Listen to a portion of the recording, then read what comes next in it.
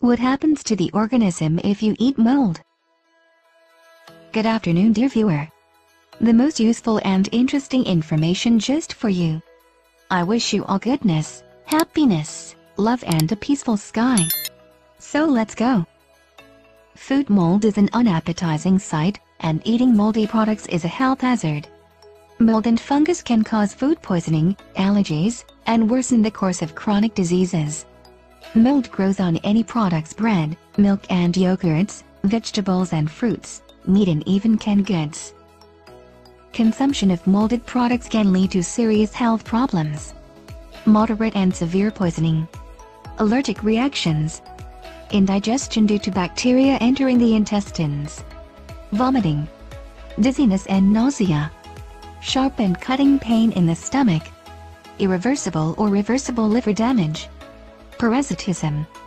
We tell you in more detail how dangerous mold is. Risk of salmonellosis.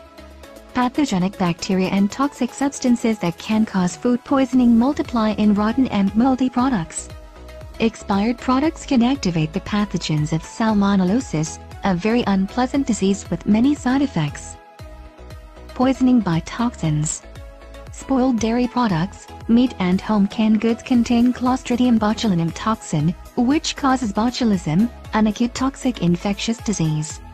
Moldy foods are deeply affected by the fungus, so cutting off the spoiled parts from vegetables, fruits, cheese or bread will not protect against the risk of poisoning.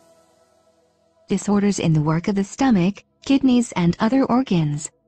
Prolonged exposure to mold can lead to internal bleeding in the stomach, kidney, liver and lung dysfunction. Some vegetables are dangerous, not only when they begin to spoil. Many of them are not recommended to eat raw at all, it does not matter how fresh they are. Is it possible to save a product that has started to get mold? It is interesting that pathogenic mold bacteria do not die during heat treatment, but some types of mycotoxins, on the contrary, grow in a warm environment. Therefore, do not try to save products with slight mold or signs of mustiness. For example, meat and fish are the most favorable foods for the development and reproduction of many types of parasites, especially helminths. When cooking or frying the product, the most dangerous and living pathogens do not die and enter the body with food. Molds produce poisonous mycotoxins, which mainly develop on vegetables and fruits. Getting into the human body, they can cause various diseases that develop relatively quickly, while being deadly. The mycotoxin deoxynivalenol affects the liver, as well as the mucous membrane of the stomach. As an immunosuppressant, it can cause kidney failure. When eating contaminated grains, bread, cereals, pastries, a person feels nausea.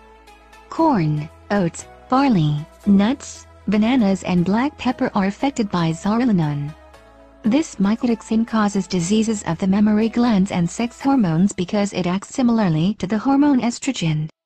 Any mold is a health hazard, with the exception of the noble mold of the beneficial fungal cultures Penicillium and Botrytis which give flavor to cheeses, salami, wine and other products.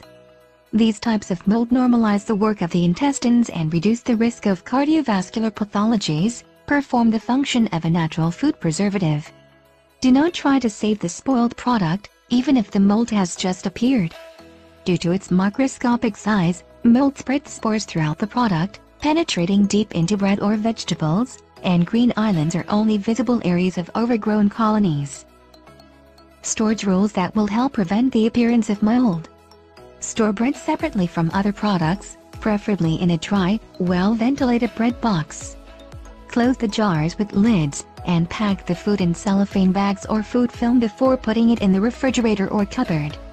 At least once a month, wash the refrigerator and kitchen cabinets with a weak soda solution, 2 to 3 teaspoons of baking soda per liter of water. Thank you very much for watching. Subscribe, like, leave your comments. I wish you all love, happiness, kindness and a peaceful sky.